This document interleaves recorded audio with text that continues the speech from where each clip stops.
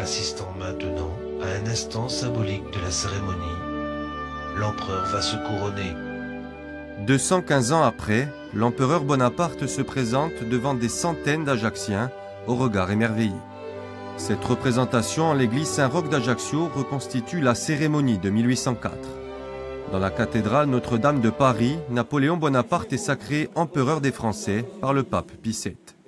Pour celui qui se glisse dans la peau de l'empereur le temps d'un soir, le moment est fort en émotion. Un rôle bien délicat puisque l'empereur est irremplaçable. Mais voilà, c'est, je pense, une fierté, un honneur pour la ville, un honneur pour les Ajacciens, pour moi-même, d'aujourd'hui, d'intégrer le personnage de Napoléon. Au total, 36 bénévoles de deux associations et d'une confrérie rejouent cette scène historique. Vive l'empereur Une représentation qui a demandé plus d'un an de préparation.